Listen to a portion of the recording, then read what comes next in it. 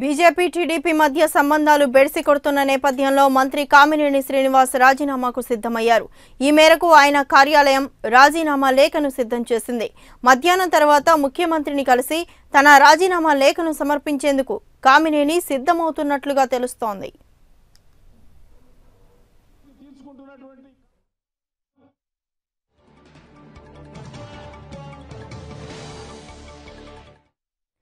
BJP TDP మధ్య సంబంధాలు బెడిసి కొడుతున్న నేపథ్యంలో మంత్రి కామినేని శ్రీనివాస్ రాజీనామాకు సిద్ధమయ్యారు. ఈ మేరకు ఆయన కార్యాలయం రాజీనామా లేఖను సిద్ధం చేసింది. మధ్యాహ్నం తర్వాత ముఖ్యమంత్రిని కలిసి తన రాజీనామా లేఖను సమర్పించేందుకు కామినేని సిద్ధమవుతున్నారు. ఇక కామినేని రాజీనామాకు సంబంధించి మరింత సమాచారం మా ఇన్పుట్ ఎడిటర్ శ్రీనివాస్ లైవ్లో అందిస్తారు. శ్రీనివాస్ శ్రీనివాస్ ఎందుకు రాజీనామా చేయడానికి సిద్ధపడుతున్నారు? వారు తాజా పొలిటికల్ వార్ పీక్ స్థాయికి చేరింది.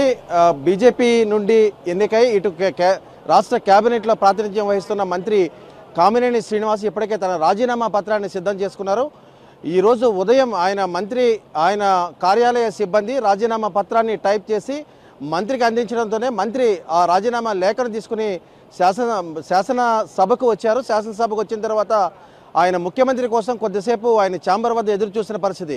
కొద్దిసేపటి క్రితమే ముఖ్యమంత్రి వచ్చిన తర్వాత మధ్యాహ్నం ముఖ్యమంత్రి శాసనసభలోను శాసన మండలిలోనూ మాట్లాడతారు.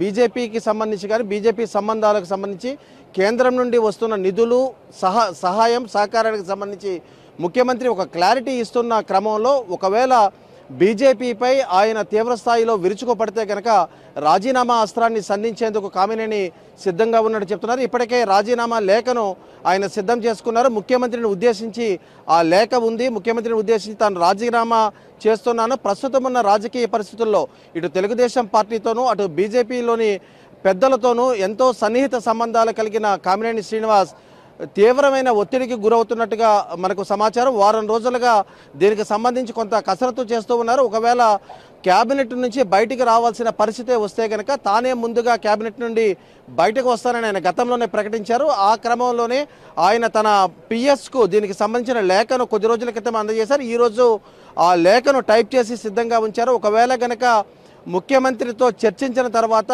తను ముఖ్యమంత్రి మధ్యాహ్నం మాట్లాడిన తర్వాత జరిగే పరిణామాలను చాలా తీవ్రంగా నిశ్చితంగా పరిశీలిస్తున్నారు. ఒకవేళ కనుక ముఖ్యమంత్రి కే కేంద్ర ప్రభుత్వం పైన నరేంద్ర మోడీ పైన అలాగే కేంద్ర వైఖరి పైన ఆయన ఒక తూర్పారబడుతూ కనుక ప్రసంగం కొనసాగితే రాష్ట్ర కేబినెట్ నుంచి బయటకు వచ్చేందుకు కా- కామినేని సిద్ధమవుతున్న పరిస్థితి ఉంది.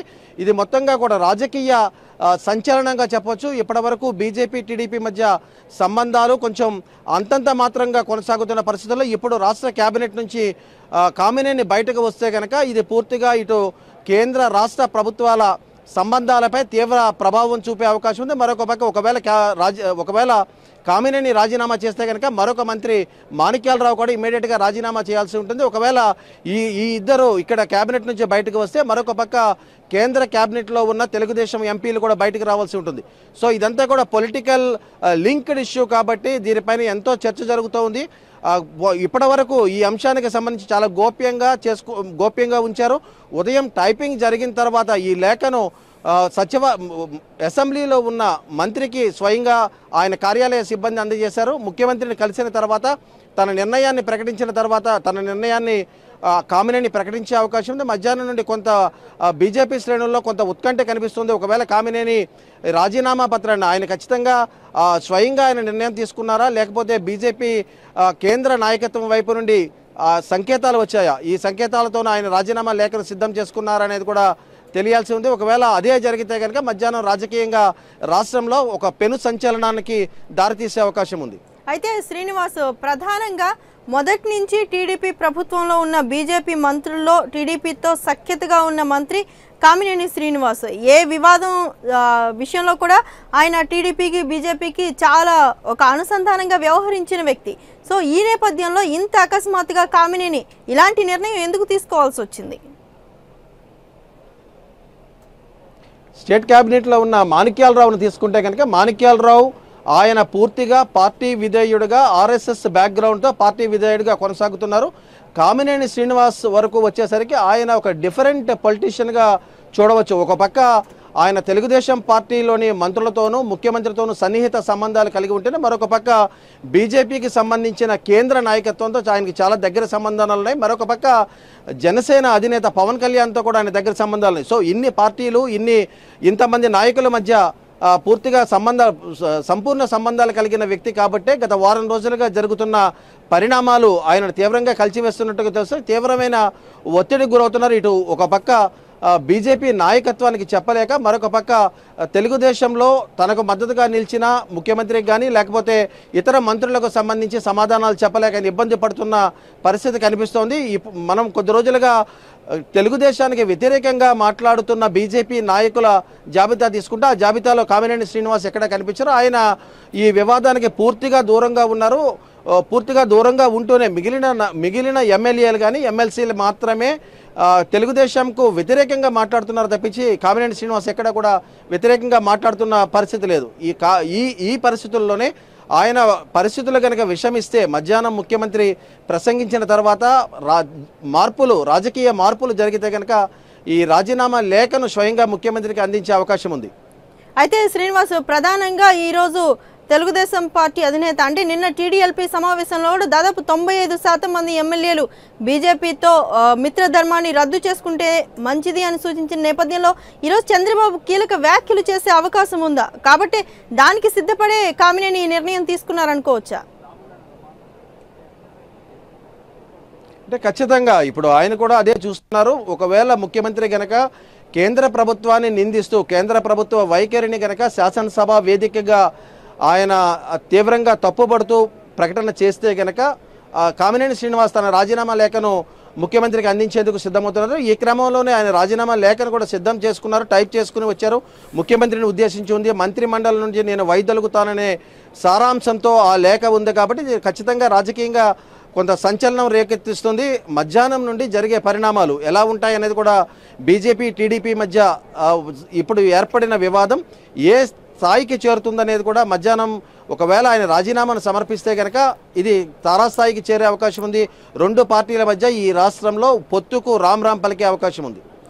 అయితే శ్రీనివాస్ ప్రధానంగా కామినేనితో పాటు అంటే ఇంకా మిగతా మంత్రులు కూడా ఉన్నారు కదా వాళ్ళు కూడా ఏమన్నా మూకుమ్మడిగా ముఖ్యమంత్రితో భేటీ అయ్యే అవకాశం ఉందా? మాట్లాడి వాళ్ళు కూడా రాజీనామాలు చేసే అవకాశం ఏమన్నా కనిపిస్తుందా? అంటే ముఖ్యమంత్రితో మాట్లాడే అవకాశం బీజేపీ ఎమ్మెల్యేలు ఎవరు కూడా తీసుకోవడం లేదు. ఎందుకంటే ముఖ్యమంత్రితో మాట్లాడినా ఆయన ఇప్పటికే ఒక మైండ్ సెట్తో ఉన్నారు. కేంద్ర ప్రభుత్వం ఈ రాష్ట్రానికి అన్యాయం చేస్తుందనే మాట ముఖ్యమంత్రి నోటు నుంచే వచ్చింది. దీనికి తోడు ఒకవేళ కేంద్రం కనుక ఇదే వైఖరితో కొనసాగితే ఖచ్చితంగా పోరాటం కొనసాగించాలి. ఈ పొత్తుకు సంబంధించిన అంశాలు నేరుగా ముఖ్యమంత్రి మాట్లాడకపోయినా ఇక పొత్తు కొనసాగి నిన్న జరిగిన టీడీఎల్పీ సమావేశంలో కూడా ఎమ్మెల్యేలు మెజారిటీ ఎమ్మెల్యేలు ఎమ్మెల్సీలు ఒకవేళ కేంద్రం ఇదే ధోరణితో కొనసాగితే కేంద్ర ప్రభుత్వం నుండి పొత్తుల నుండి బయటకు రావాలనేది వారి నిర్ణయం. ఆ నిర్ణయాన్ని వారందరి అభిప్రాయాలను కూడా నిన్న ముఖ్యమంత్రి సేకరించిన పరిస్థితి ఉంది దీంతోపాటు బీసీ ఎమ్మెల్యేలు ఎమ్మెల్సీల సమావేశంలో కూడా ఇదే అభిప్రాయం వ్యక్తమైంది. సో మొత్తంగా పార్టీ ఒపీనియన్ అంతా ఇదే వైఖరితో కేంద్రం ఉంటే కనుక బయటకు రావాలనేదే మొత్తం అందరి ఒపీనియన్ కాబట్టి ఆ ఒపీనియన్ ప్రకారమే ముఖ్యమంత్రి నిర్ణయం తీసుకునే అవకాశం ఉంది. కాబట్టి ఇప్పుడు ఈ పరిస్థితుల్లో తిరిగి ముఖ్యమంత్రితో భేటీ కావడం పెద్దగా ప్రయోజనం లేదనేది బీజేపీ ఆలోచన. కాకపోతే ఈ అసెంబ్లీ వేదికగా వారు మాత్రం ఒకటి చేయాలనుకుంటున్నారు. కేంద్ర ప్రభుత్వం నుండి వచ్చిన సాయానికి సంబంధించిన అంశాలను శాసనసభలో ప్రస్తావించడం ద్వారా తెలుగుదేశం ప్రభుత్వం చేస్తున్న వివాదానికి సంబంధించి తాము కూడా కౌంటర్ చెక్ చేయ పెట్టాలనేది ఒక ఆలోచనగా కనిపిస్తుంది. ఈరోజు ఉదయం బీజేపీకి సంబంధించిన ఎమ్మెల్యేలు ఎమ్మెల్సీలు కూడా సమావేశమయ్యారు. సమావేశమైన సందర్భంలోనే ఇదే అంశాలు ప్రస్తావనకు వచ్చాయి. ఒకవేళ ఇదే పరిస్థితి కొనసాగితే కనుక తాము కూడా శాసనసభ శాసనమండలి వేదికగా మొత్తం కేంద్రం నుంచి వచ్చిన నిధుల చిట్టాను బయటకు విప్పాలనే ఆలోచనలో ఉన్నారు కాబట్టి ఇక ముఖ్యమంత్రితో సమావేశం కావాలనే ఆలోచన ఏ బీజేపీ ఎమ్మెల్యే కూడా చేయడం లేదు. అంటే ప్రధానంగా ఇరుపక్షాలు మిత్రధర్మంతోనే రాష్ట్రంలో మంత్రి పదవులు కానీ అటు క్యాబినెట్లో ఇటు టీడీపీ మంత్రులుగా కానీ కొనసాగుతున్నారు. ఈ నేపథ్యంలో అసలు ఇప్పుడు రాజీనామా చేయడానికి ముందు బీజేపీ అధినాయకత్వంతో ఏమైనా ఈ మంత్రులు మాట్లాడారా? వాళ్ళ ఆదేశాల మేరకు ఏమైనా వీళ్ళు రాజీనామాలు సమర్పిస్తున్నారని వాళ్ళు ఏమైనా సమాచారం ఏమైనా అందుతుందా? అంటే ఖచ్చితంగా ఇప్పుడు వారు ఇండిపెండెంట్గా వచ్చిన మంత్రులు కాదు బీజేపీ వైపు నుండి బీజేపీ శాసనసభ్యులుగా ఎన్నికై రాష్ట్ర క్యాబినెట్లోకి వచ్చిన వాళ్ళు. అది కూడా మిత్ర మిత్రపక్షంగా ఉండి రాష్ట్ర క్యాబినెట్లో ప్రాతినిధ్యం వహిస్తున్న వారు. ఖచ్చితంగా వారు రాజీనామా చేయాలంటే వారి అధిష్టానం అనుమతి తీసుకోవాల్సి ఉంటుంది. ఒకవేళ ఇప్పుడు కామినేని శ్రీనివాస్ కనుక రాజీనామా లేఖను సమర్పిస్తే కనుక అది ఖచ్చితంగా కేంద్ర నాయకత్వం డైరెక్షన్తోనే చేసినట్టుగా చెప్పవచ్చు. అలాగే మిగిలిన మంత్రులు ఒకవేళ ఆయన చేస్తే కనుక మరొక మంత్రి మాణిక్యాలరావు కూడా రాజీనామా తప్పనిసరిగా రాజీనామా చేయాల్సి ఉంటుంది. సో వేచి చూద్దాం మధ్యాహ్నం వరకు పరిస్థితులు ఎలా ఉంటాయి ఎటువంటి పరిణామాలు చోటు చోటు చేసుకుంటాయి అనేది మధ్యాహ్నం కొంత క్లారిటీ వచ్చే అవకాశం ఉంది. Right thank you Srinivas